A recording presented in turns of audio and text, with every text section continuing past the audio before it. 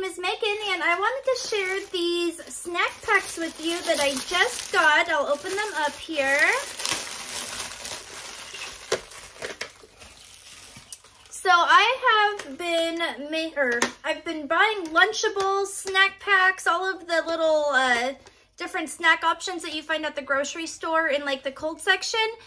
They cost a lot of money, and so I decided I want to start making them at home. So I bought these four-pack containers, and then they come with the lids. And I bought these so I could do like meat, cheese, fruit, uh, trail mix. I can pack four at a time and then put them in the fridge for lunches to just grab and go. I think this will be so great for my husband, for my daughter, for myself. And then the reason why I specifically chose this pack, besides that they're cute, was it came with these cute little containers. And um, I really wanted to try them out. They came with a little two pack. And then it has a silicone lid that just has a tab you can pull off. And then you could put like ranch if you wanted to have like ranch and veggies, or you could do peanut butter and apples, caramel and apples.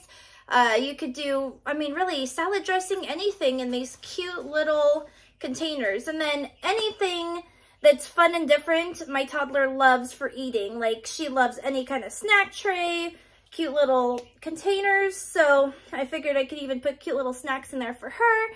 But anyway, I just wanted to share these are gonna um, help me to make my own Lunchables, help me meal prep, and I am all about uh, any way to save money right now. So just had to share, this is what it is. And then it came with four lids as well. So if you are looking for some meal prep, I highly recommend these. They feel like they're great quality. They were, uh, to me, personally, felt like a great price, um, affordable. So that is what it is. I hope this helps.